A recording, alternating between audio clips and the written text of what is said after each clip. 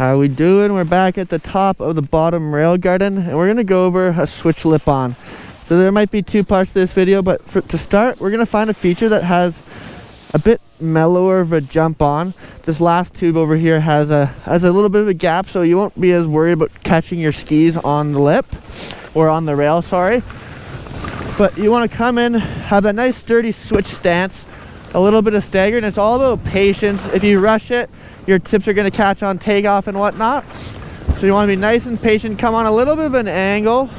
I'm going to shuffle the switch. I got my stagger, my hips open, and I'm just going to be super patient up and over the rail and put it down. So you really want to be patient. Let you let yourself come up off that lip of the takeoff, and then once you know that you've cleared the rail, you can turn your skis sideways, put them on the rail, and then ride away clean.